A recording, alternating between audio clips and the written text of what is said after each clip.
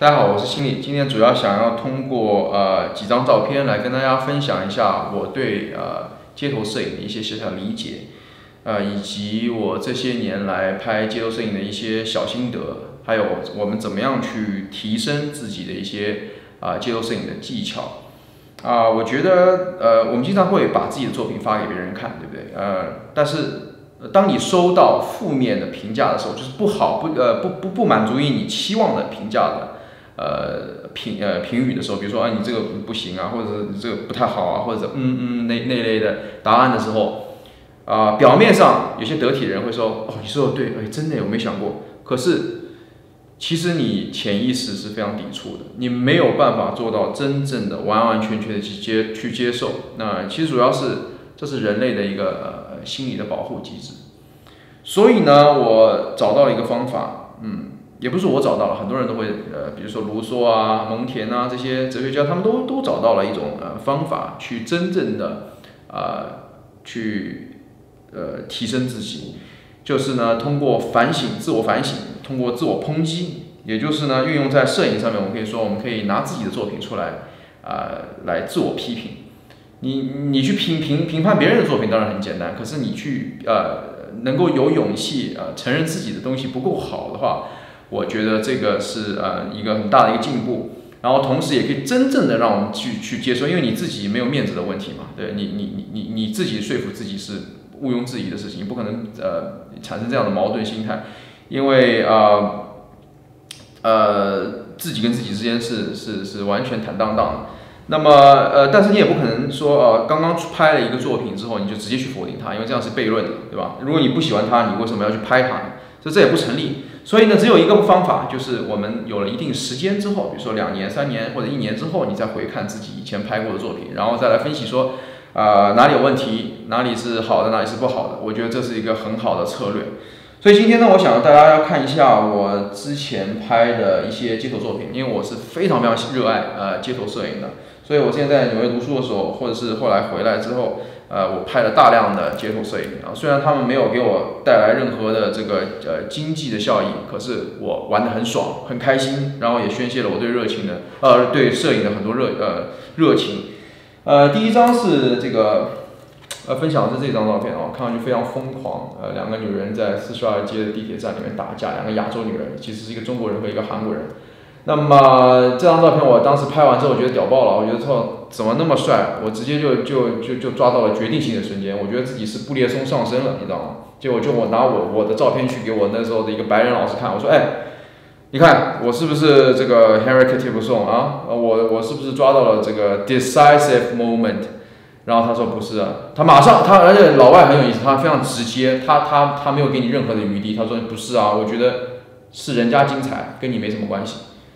那我当时一听懵了，我我我都不不明白什么意什么意思，什么叫做别人精彩，我跟我没关系。后来我才想到，你看了一一系列的这个呃布列松的作品之后，你会发现，诶，他的这个照片看上去总是有点摆拍。后来是当然有人说他是摆拍或者，但是不管他的作品总是有种让人家觉得诶精心安排过、很精心的构图哎创造出来的。可能普通人就拍不出这样的画面。你比如说那个呃小男孩捧捧着两个这个酒瓶啊，我觉得这照片，这跟这个就是有本质上的差别。我后来一一想，反思了之后就发现，对呀、其实只是运，我这个只是运气好，正好发生了一个暴动之类的事情，拿相机上去一拍，欠缺了很多思考。所以说这个照片呢，啊、也是一个运气作品。我们我们很多时候拍街头，这是我想分享给大家的。我们经常容易会出现啊、街头呃这个随机性，然后你运气好，呃给给大家举个例子啊，比如说这张照片，这也是典型的啊、现在看来非常嗯普通的一张作品，就是它也是一个运气之作，就是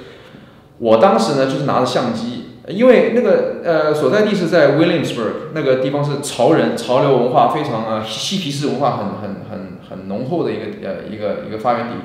所以呢，满大街的怪人，打引号的怪人，都是很有很时尚的人在那边走。那我就拿着相机，就这个啊、老实说，我也不太敢直接对着人家像这个 Bruce Gunn 这样这样这样拍啊。我我我我就是躲在那边啊，偷偷的这假装好像旅行，那就就就就这样扫过去，正好被我呃拍到了这么样一张照片。呃，那是一个胶片机拍的，但是洗出来之后我都不敢相信我我抓到了这么好的一个瞬间。两两个男生正好在看一个很时尚的女生啊，蛮有戏剧性的。可是这是一个运气之作，我并没有主观的创造它，所以现在对我来说这样的照片挺好看的啊，可以做装饰，但是嗯，不能我我不想把它称作为是我的作品。然后呢？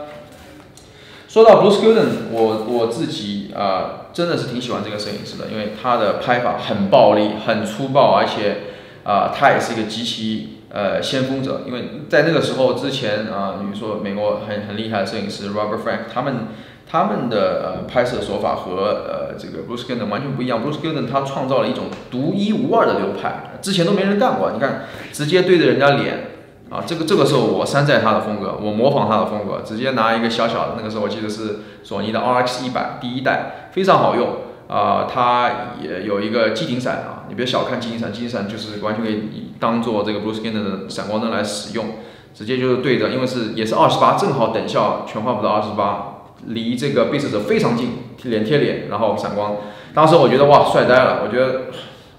你不可能拍出来，因为那时候我觉得很多呃，做的朋友他们都喜欢拍街头，可是没有人敢敢这么拍啊。第一，他们不知道 Bruce Gilden；第二，他们很多人就是胆子，就算知道，胆子也没没那么大，那找不到一种方式啊，怎么样去去靠近别人。那我今后会呃给大家做一期视频，就是说怎么去，我带大家出去啊，怎么样拍出这样 Bruce Gilden 风格的作呃呃这个这个作呃风格的照片。但是这张照片来说，现在来看，我觉得挺挺挺无趣的，因为整个只有一个闪光灯被闪照照亮的人物，然后脸也变呃被烟挡住了，他到底在干嘛？我也不知道，身份的身份的状况也是比较模糊，然后周围可以看到就是在一个呃。这个是在时代广场，然后也挺游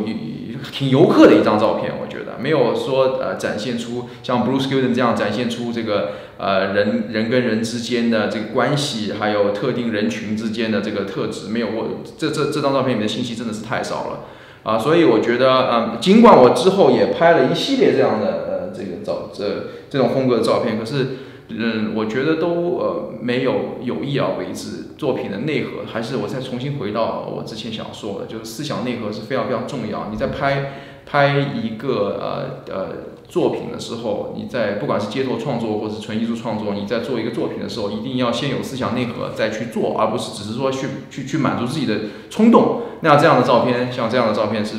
没有灵魂的。呃，但有一些作品我还是特别喜。欢，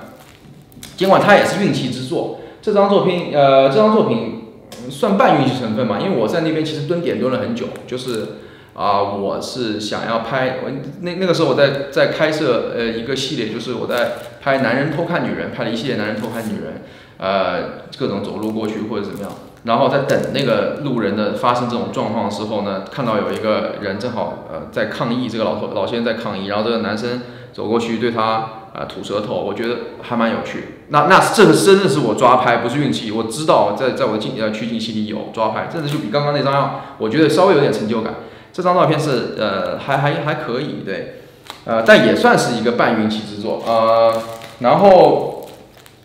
这一系列我就特别喜欢了，是我最近自己创作的呃一个呃两呃三年前自己创作的一个熟睡系列吧，就拍了大量的这个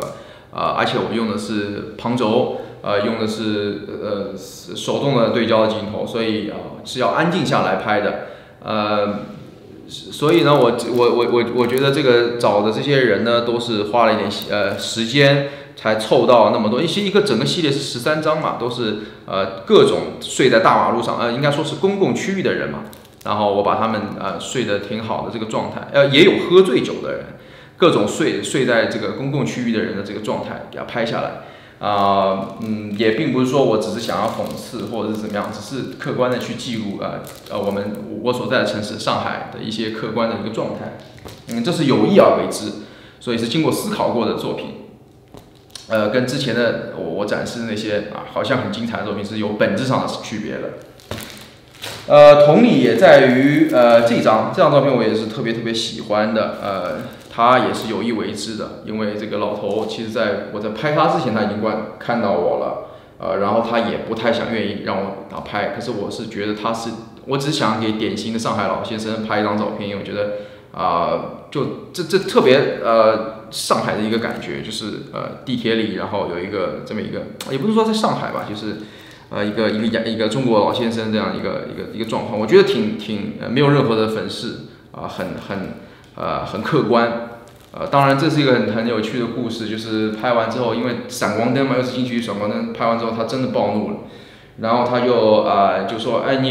一个你在拍我对不对？帮我删掉删掉。但事实上，根据法律来说，啊、在任何的公共场合啊、都是可以呃拍摄的，呃，然后呢，只要画面里不只是他一个人，呃，就不存在侵犯肖像权，而且你有没有在侮辱他？对，因为这里还有很多其他的人，对。但严格意义上来说，啊呃最好还是不要去激怒别人。但是既然发生了，我当然后来就是呃找了一个策略，就是说我我我是游客。啊、我我我我刚买了一个相机，我不知道它为什么闪光灯就弹出来了，然后就就混过去了，这样这样子。呃，还有的一些系列，我觉得也挺有趣的，就是嗯，呃，我在拍大家呃各种纽约地铁的这些人物的呃超近距离的肖像啊，几乎没有任何的其他的，就这不是在纽约，这在呃呃上海啊，各种地铁里的人物的这个超近距离的肖像，拍他们的这个状态，然后也有呃。纽约啊、也有上海，也有香港。那我是呃用了一台呃非常小的全画幅的卡片机 RX 一，它有很好的这个等效的这个呃，它有这个微距的一个一个一个效果，然后自动对焦速度也很快，所以可以凑得很近去拍这些人物肖像。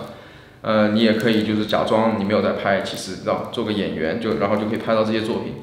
呃，这个是也是有意为之，而且因为有一个系列，所以它会彼此之间发挥作用，让这个作品呃更加的凸显它它的这个主题性。所以呢，嗯，今天通过这个呃来抨击自己以前的作品和一些呃去看一些自己呃现在再回头来看还是比较喜欢的作品，然后来进行比较啊、哪一些是我之前做好的地方，哪些是之前没做好，后来又做好的地方，通过不停的自我批判。和呃这个嗯呃去去去去否定自己以前，也也去肯定呃我们我们好的地方，然后来得出啊呃这个一些最最最客观的，而且自己内心不会因为有面子的问题呃所挡呃所所所不接受的这么一个正确的意见。呃，我也不知道这这正确不正确，可是我是现在来看的话，我我站在呃可能五六年以后的我在看自己的啊、以前的作品。我觉得相对来说比较客观一点嘛，也也也不存在什么面子问题。